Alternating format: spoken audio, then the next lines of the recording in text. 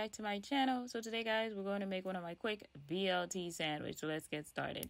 So first you're going to need all your ingredients. I have tomato, cheese, need some lettuce, some naan bread, as well as I'm going to grab some mustard and mayo to add to the, my bread.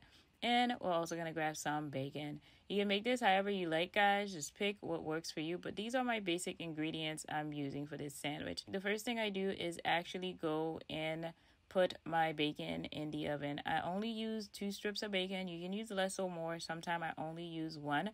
And I love this bacon. I got it at Whole Foods. It's uh, apple smoked bacon, I believe it says on there. And it's not the thinnest bacon. It is a little thick, but you can use thinner bacon. I just really like this one. I found it at Whole Food and I just loved it since then. I that's the one I've been buying for a minute.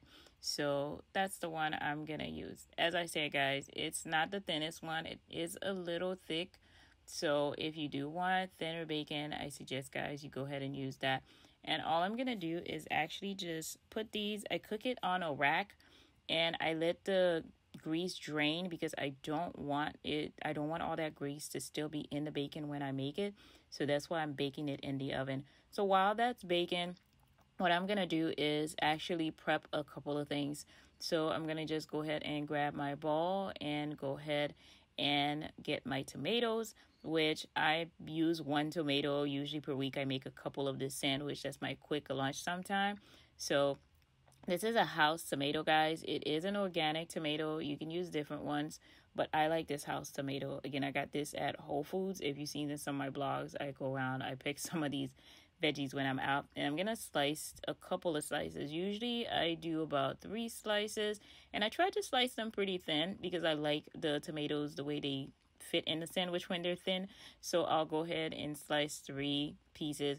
This doesn't have to be fancy, guys. As you can see, my tomatoes are not sliced super fancy. So just get as much as you want to add in there. And that's it, guys. That's the tomato you want to put. And now you're going to put the rest away because this tomato I usually use it about three, four times maybe. Next, I'm to go ahead and rinse my salad. This is important. I know not everybody look at this, but whenever I go to Whole Foods, I always go to the organic aisle.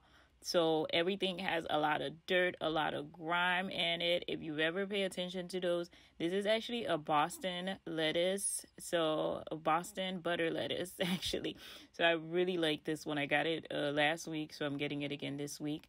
And I just love the way it tastes. But if you take off one of the leaf, look how much dirt is on there, guys. A lot of dirt is in it. So we're going to go ahead and make sure we thoroughly thoroughly rinse this off because we don't want any extra ingredients. So you see how clean it is?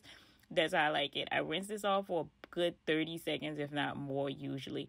So each leaf, make sure you're doing the same thing with it. And I usually grab about three pieces of good sized leaf. Once I start getting on the inside, the smaller leaf, I'll usually go to about four to five leaf. But three really good large pieces will usually do it for me. And that's how much I would put in my sandwich. Now, after that, guys, what I'm going to do is it's been usually about five to seven minutes while the bacon is baking. I go ahead, I grab two pieces of naan bread and I toast them alongside with it. You don't have to toast your bread, but this BLT tastes so much better when you have toasted crispy bread. So I will go ahead and put these guys in the oven for the last 10 minutes to 12 minutes because I usually do uh 15 to 17 minutes of my bacon it baking in the oven so they can get pretty crispy. So while that's baking, because I want everything to be done together, I'll put my cheese aside. If you guys can see, I have a piece of cheese on there. And I'll go ahead and put these breads in the oven so that way they can be quite toasty and everything will be done together. So I don't have to wait while my bacon is being done, my bread is waiting, or anything of that nature. Now, you can do this, guys. I don't always do this, but whenever I notice there's like an extra little weird piece sticking out at the end of the lettuce, I do cut those off, but this is like once in a while. I don't always take that off, but I do go ahead and take those little extra piece off if I don't like the way they look. But this is just something extra you can do. You don't always have to do this the lettuce usually they're good to go. I don't have to worry about mo- removing any little extra pieces. Again guys just make sure everything is clean everything is good that you don't have any dirt and grime on those lettuce. Very important guys so you don't get sick whenever you're preparing anything that has any dirt and grime on it. So when that's done i take the naan breads out about a minute or two before the bacon actually so i can go ahead and prep that while i'm waiting for that to finish what i usually go do is I don't always do this, but sometime if I feel like it, I will go ahead before I put the mustard and the mayo on there, I will go ahead and cut the bread. So you guys can see I'm using the mayo, this mayo from Walmart. It's a regular mayo and it's a Dijon mustard again from Whole Foods. It's a really good mustard. So I'm gonna go ahead and cut the breads in half. This makes it easier to eat the sandwich because it is a pretty good size one. So I don't want to have the whole thing having to try to eat around it. So I will go ahead and cut it into two pieces. So I'll have two sandwiches, which I'll eat it all at once. I just don't like to eat the whole big piece together. So I'm going to go ahead and split it into two halves. And it's very simple. You can go ahead and tear it. I'm just being fancy, guys, using the knife because I have it and I'm cutting through it so I can go ahead and make two sandwiches. Now, after I cut those two, I'm going to go ahead and add my mustard and mayo. Now, for the mustard and mayo, you can add as much or as little as you want. I usually don't add a lot because I don't want a lot of mustard and mayo on my sandwich. I don't like it to be extra soggy. So I'll go ahead and add just a little bit, usually about a teaspoon, uh, maybe a little bit over that, of mayo on each side of the breads and just a tiny bit of mustard. If you guys can see, like I'm gonna just grab a little bit with the knife. It, it's barely, I I would say I use about a teaspoon for all of it overall. Again, guys, remember add as much or as little as you want. I usually don't like a lot on my sandwich, but I know some people they like a lot of mustard, a lot of mayo. So go ahead, make this how you want to. It'll come out pretty good either way. Sometimes I would add a little bit more mustard and mayo, but usually because I'm making this for a quick lunch, I don't add that much because I'm going to have another dinner later on that's pretty hearty usually.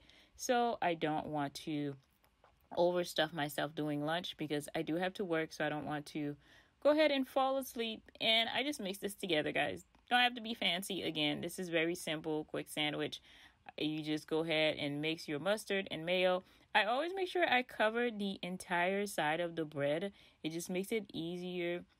It makes it a lot more tasty to eat because I don't want to bite into one piece, I'm tasting the mustard and mayo with along with the rest of the ingredients, but then I bite into another piece and it's not on there, so I don't want that to happen. I go ahead and make sure this is all over the side of the bread. So when I add my ingredients, everything is on there evenly. After I add my mustard and my mayo, guys, what I go ahead and do is layer all of my vegetables and fruit. So I'll put lettuce, tomato, you can layer this by the way however you want to. This is not like a proper way or anything like that. I just go ahead and layer everything together. I'll put the lettuce and tomato first at the bottom and then layer more lettuce more tomatoes i tried to make sure to put the cheese in the middle it makes it easier to eat it that way i realized, because i don't have to worry about it sliding off to a side or anything of that nature so put the cheese on how you like and then I will go ahead and cut everything in the middle so it can match the shape of the bread that I cut earlier. So everything will be able to come apart a lot easier. That way all my tomato and all my salads are cut. This may be the long way of doing this, guys. I know you could have tear it before that, but it just makes it a lot even and easier. Now, if you're not going to add bacon, you're done, guys. This is your sandwich you're good to go. You don't have to add anything extra. You are set. All you do is put this on the plate and go. And you can see, it's ready. It's more like a lettuce and tomato sandwich. So that would be it. You didn't have to, you don't have to add any bacon to it. So you'd be ready to eat. Your sandwich is good. Grab yourself some juice. You're ready and good to go. Now, if you are going to go ahead and be like me and add some bacon on there, like I always do, you're going to go ahead and grab your bacon. Now, I just lift the top piece. You don't have to add it inside or anything like that. Sometimes I add it in between, but this is the easiest way for me. After I put everything together, I go ahead, I grab my piece of bacon I make two whenever I'm making the sandwich like this so I can put a slice on each side. And I go ahead, I cover this up and you're all set, guys. BLT sandwich done and ready to eat. So that's it. Thank you guys so much for watching. If you haven't already, guys, of course, subscribe to my channel. Click that notification bell so you'll know when I have a new video that's coming out. Of course, always leave all of your comments down below. Don't forget, if you make a BLT sandwich, definitely let me know in the comments below. And definitely go over and watch my last video.